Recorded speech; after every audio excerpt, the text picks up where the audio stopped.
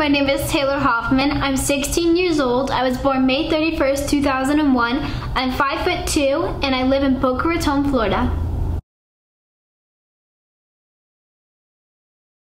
Choke on galactic vapor, pighead.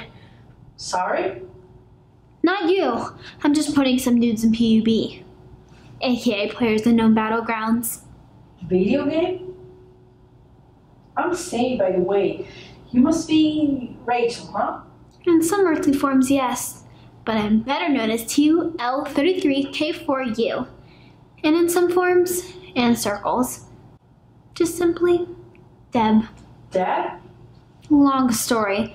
Deb is the alt to my alternate gay tag. So, if this is your first move? Because it's my third new school in a year. It's such a bummer leaving all your friends behind.